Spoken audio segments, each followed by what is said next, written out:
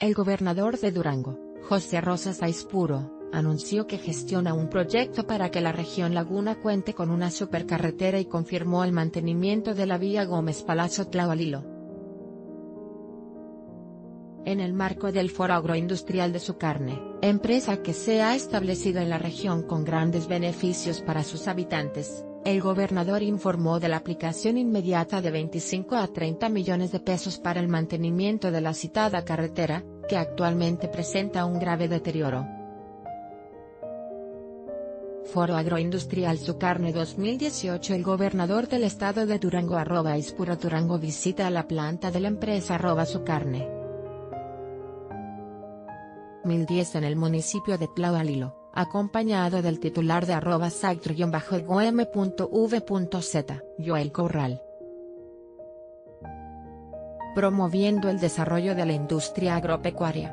pic.twitter.com barra 9pk. Sagtr-edgo, arroba Sagtr-edgo, August 4, 2018 José Rosas Aispuro enfatizó que con el impulso al desarrollo de la comarca lagunera y ante el crecimiento industrial, aumenta la demanda de comercializar los productos. El gobierno del estado trabaja en conjunto con la Secretaría de Comunicaciones y Transportes en el proyecto de estas nuevas realidades, así como con la iniciativa privada. Agregó que los representantes del sector privado han realizado gestiones por 150 millones de pesos para su aplicación en la modernización de la infraestructura carretera de la región. Ante ello, el tránsito en las carreteras aumenta de manera considerable, lo que se agilizará con el proyecto de ampliación y modernización de la carretera en mención que es una importante conexión para las empresas laguneras instaladas en los poblados de esa parte de la región.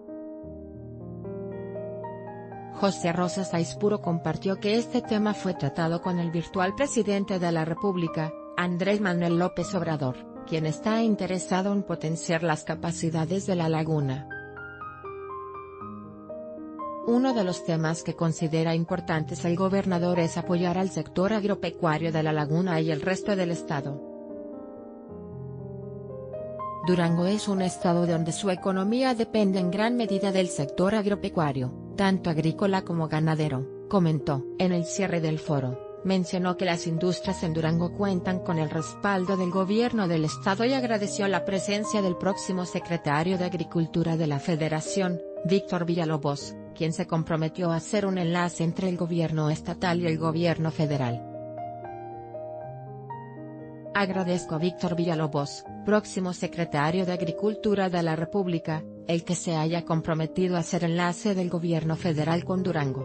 pic.twitter.com barra Z5CD0WEX6, José R.